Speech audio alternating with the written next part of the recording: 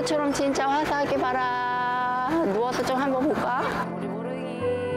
다음 날 꽃을 좋아하는 딸을 위해 엄마 미선 씨가 특별한 데이트를 준비했습니다. 와, 뭐 꽃이 지금 활짝 폈네. 봄이 머리처럼 활짝 폈네. 집과 병원에서 보내는 시간이 많은 보배를 위해 꽃 구경에 나선 건데요. 활짝 핀 꽃이 딸을 닮은 것 같습니다.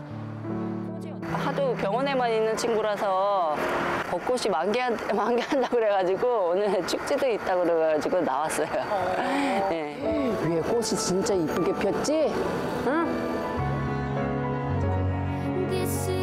지금껏 그 흔한 여행 한번 제대로 할 수 없었던 모녀. 하지만 언젠간 화창한 꽃길을 꼭 함께 걸을 수 있으리라 믿습니다.